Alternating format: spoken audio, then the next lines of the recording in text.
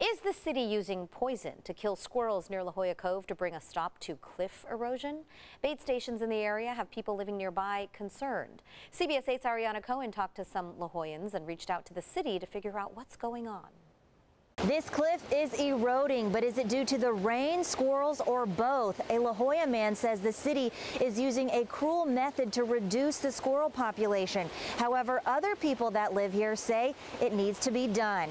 I spoke to city officials. Bryan Rasheshki was walking along Shell Beach near La Jolla Cove when he noticed these poisonous bait stations that he says are used to kill squirrels. Pretty alarmed when I found that out that this is not a humane release situation. He says these burrows the squirrels build are being blamed for this cliff's erosion. Very knee-jerk reaction, quick solution that puts a band-aid on it. They need to look at the geology of the area. The city says Parks and Rec partners with a company to provide pest control for squirrels and other rodents. I just feel really bad seeing the squirrels suffer. I saw one that had been poisoned and it could barely sit up straight. It was shaking eyes drooping. It really has no place in the La Jolla Cove. This should be a pristine ecological preserve. Rasheshki says other methods should be used instead. He worries it could also be harmful to the ecosystem. It's the birds of prey, the owls, the falcons, house pets, cats, any other animal that contacts them can subsequently get poisoned.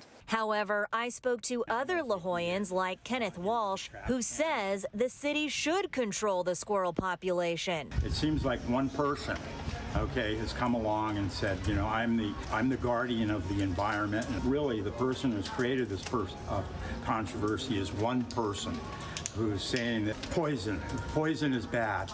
Uh, I, I, think the city has some rights too.